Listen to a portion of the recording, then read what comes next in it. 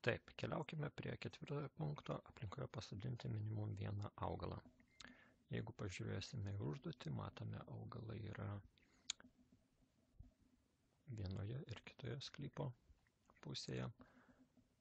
Šiuo atveju supaprastintai užduotį mes turime pasodinti mažiausiai vieną augalą. Šiam tikslui pasirinku įrankį Messing Inside Site Components ir iš įkeltos bibliotekos pasirinku augalą.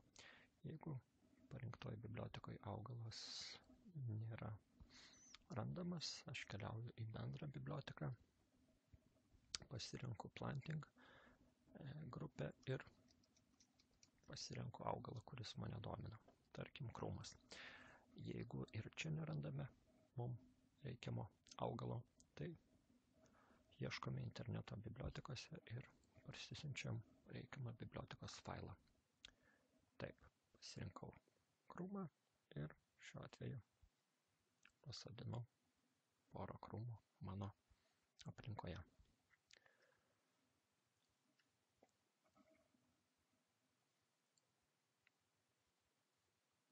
Taip, žingsnį įveikti.